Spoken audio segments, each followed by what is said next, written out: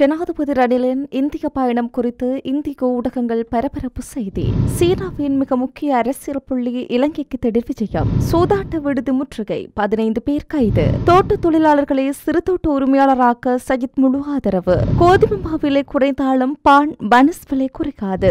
பாலஸ்தீனம் தொடர்பில் மகிந்த விடுத்துள்ள கோரிக்கை. வைத்தியசாலையில் உள்ள அனைவரும் உயிர் பிழைப்பதில்லை சுகாதார அமைச்சர் பதில். உக்ரைனின் ஒடேசா துறைமுகம் மீது ரஷ்யா தாக்குதல். thank you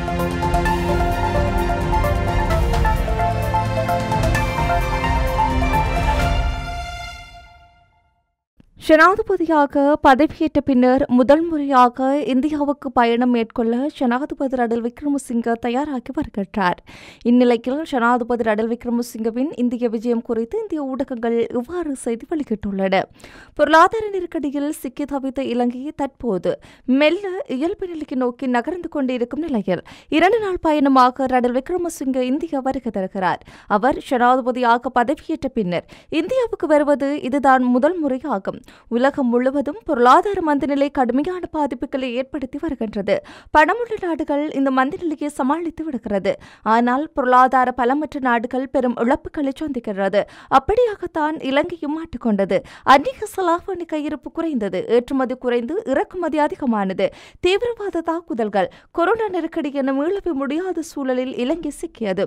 இது மக்கள் மத்தியில் பெரும் போராட்டங்களை தூண்டியது. போராட்டங்கள் கலவரங்களாக வெடித்தன. பெட்ரோல் அரிசி கேஸ் காய்கறிகள். முட்டை பால் என அத்தியாவசிய பொருட்களின் விலை தாறுமாறாக உயர்ந்தது. போதாக்குறைக்கு மின்வெட்டும் மக்களை வாட்டி வதைத்தது. இவை அனைத்தும் தான் மக்களின் போராட்டத்திற்கு முக்கிய காரணமாகும். ஒரு கட்டத்தில் அதிபர் மாளிகையை போராட்டக்காரர்களால் முற்றுகையிடப்பட்டது. இதனால் அதிபர் கோட்டபய ராஜபக்ஷ பிரதமர் மகிந்த ராஜபக்ஷ பதவி விலகி நாட்டை விட்டு தப்பினர். இப்படியாக பல்வேறு மாற்றங்களுக்கு பின்னர் புதிய அதிபராக ரணில் விக்ரமசிங்கே தேர்ந்தெடுக்கப்பட்டு செயல்பட தொடங்கினார். தற்போது நாடு முழுவதும் இயல்பு இயல்பு நிலைக்கு மெல்ல திரும்பி வருகின்றது. இதற்காக இந்தியா பேருதவிகளை செய்திருக்கின்றது. இந்த உதவிக்கு ரடல் தொடர்ந்து நன்றி தெரிவித்து வருகின்றார். இந்நிலையில் சமீபத்தில் கொழும்பில் நடந்த இந்திய நிறுவனங்களின் தலைமைச் செயல் அதிகாரிகள் கூட்டத்தில் இந்திய நாணயம் குறித்து அவர் பேசியிருந்தது அனைவரின் கவனத்தையும் ஈர்த்தது. மேலும் அமெரிக்க டாலரை போல இந்தியாவின் ரூபாவை பொது நாணயமாக பயன்படுத்த வேண்டும் என்றும் வலியுறுத்தினார். இது இந்தியாவின் அந்நிய செலாவணியை மேம்படுத்த உதவும். இதன் மூலம் பொருளாதார வளர்ச்சி அதிகரிக்கும் என கூறினார். சீன கம்யூனிஸ்ட் கட்சியின் மத்திய குழு குழுவின் அரசியல் குழு உறுப்பினரும் சீனாவில் சோங்கிங் நகர சபையின் செயலாளருமான ஜுவான் ஜியான் சுங் இன்று இலங்கைக்கு விஜயம் செய்வார் என தெரிவிக்கப்படுகிறது இவர் ஜூலை பத்தொன்பது முதல் இருபத்தி மூன்று வரை இலங்கையில் இருப்பார் என்பதை இலங்கைக்கான சீன தூதரகம் அறிவித்துள்ளது.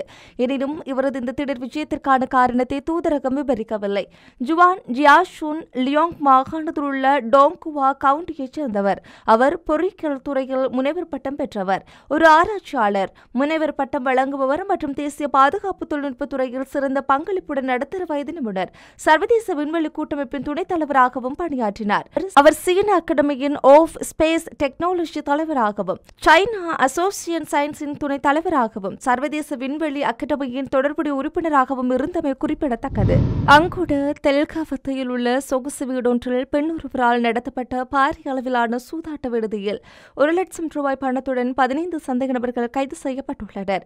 தெல்காவத்தையில் உள்ள இரண்டு மாடி வீடொன்றில் குறித்த பெண் பல வருடங்களாக இந்த சூதாட்ட விடுதியை முக்கிய பிரமுகர்களின் உதவியுடன் நடத்தி வருவதாக போலீசார் தெரிவித்தனர்.